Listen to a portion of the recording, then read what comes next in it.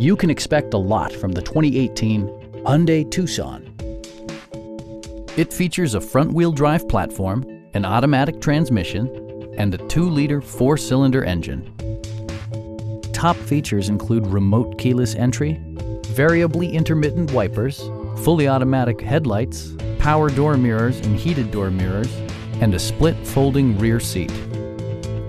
You and your passengers will enjoy the stereo system, which includes a CD player with MP3 capability, steering wheel mounted audio controls, and six speakers, providing excellent sound throughout the cabin.